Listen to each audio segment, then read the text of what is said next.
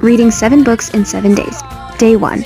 So today's book was Finale by Stephanie Garber, which I'd actually previously started and was a third through. So I had about 300 pages left. So I just got straight to reading. I was reading outside. I also love Stephanie Garber's writing, so this book was super easy to just binge the last part of it.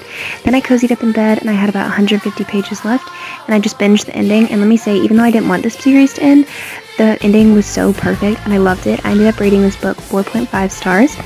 And just like that, day one was a success. And I'll see you tomorrow for day two.